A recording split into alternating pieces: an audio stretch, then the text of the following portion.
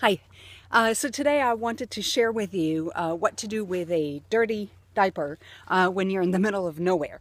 Uh, so you take the diaper, you fold it um, as per usual, like so, neatly. Then you put it in a plastic bag, like so. There you go. And then you just neatly dispose of it. It works best if the diaper is really heavy anytime.